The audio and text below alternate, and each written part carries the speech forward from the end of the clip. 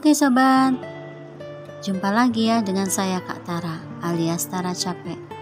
So, saya tidak akan pernah capek untuk menemani di mana pun sahabat berada. Sahabat semua, kita masuki season berikutnya ya, di mana pada video sebelumnya Kak Tara sudah membahas dan menampilkan sekilas cuplikan film tentang awal mula terjadinya alam semesta dan kehidupannya. Nah, kali ini Kak Tara akan memberi sedikit pembahasan tentang sumber daya geologi. Tenaga tektonik atau tectonic force ini akan menyebabkan terjadinya pergerakan lempeng. Jadi, bumi adalah lempengan yang berlapis-lapis ya guys. Menurut teori tektonik lempeng, permukaan bumi terbagi-bagi menjadi beberapa lempeng-lempeng besar.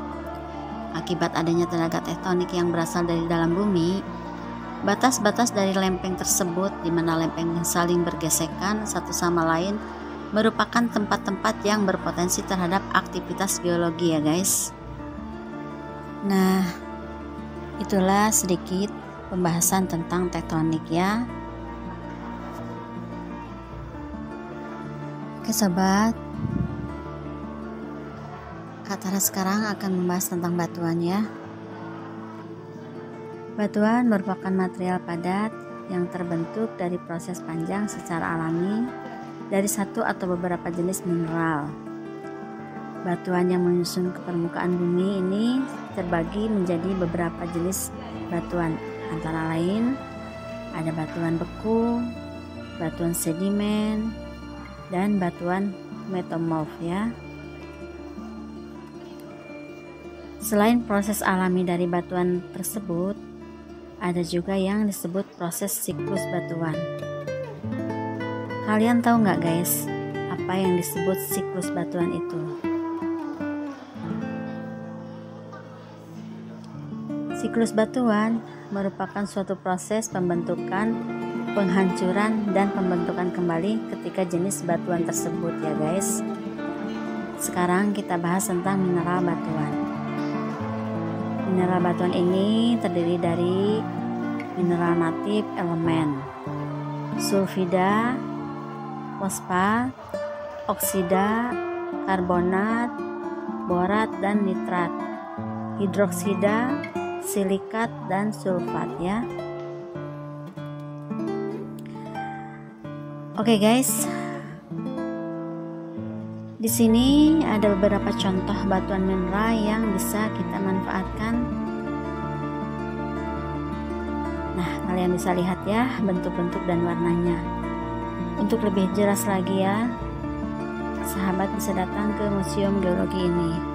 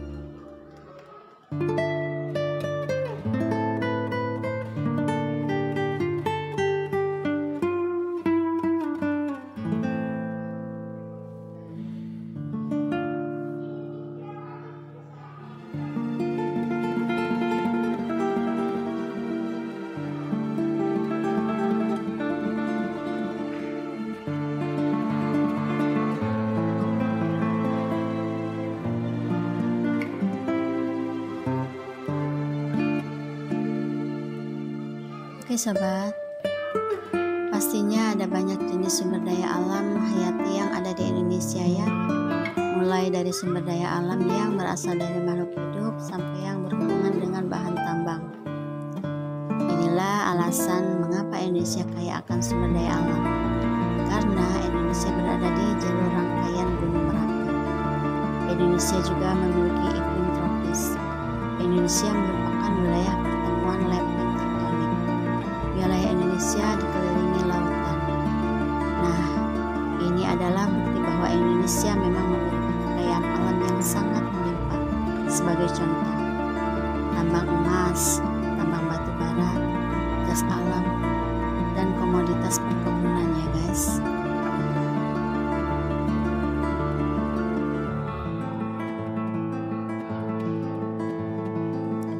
Nah, sobat, itulah sedikit uraian penjelasan tentang proses tektonik.